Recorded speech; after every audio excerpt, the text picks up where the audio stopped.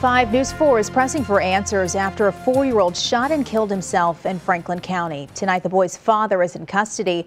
Police say the child found the gun inside a mobile home off of Highway 50 west of Union. Russell Kinsaul spoke with investigators and has more from Franklin County tonight. Not only was this a terrible tragedy that was preventable, but Sheriff Steve Pelton said the father wasn't even allowed to have a gun in the home in the first place. The neighbors I spoke with were pretty upset about the four-year-old's death outside playing in the yard.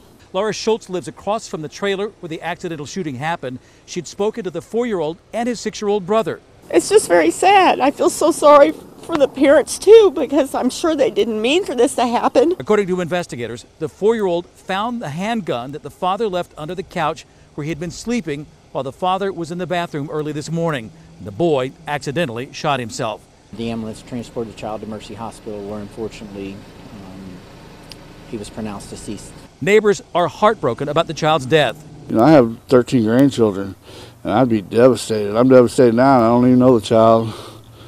You know, it's really heart wrenching. Just some basic education could prevent a tragedy like this. Dennis Bosworth owns Black Dragon Arms in Union and is an NRA certified instructor. He had this message for gun owners. The guns need to be properly stored. You shouldn't leave. You should never leave a loaded gun just laying around out in the open. The boy's father is now facing possible jail time over the tragedy. We did make an arrest in, in the case. We arrested the father, 34-year-old um, male, for endangering the welfare of a child and also unlawful possession of a firearm. Sheriff Pelton wanted to make sure that this message got out to all gun owners. He said, please, please lock up all firearms if there are children in the home.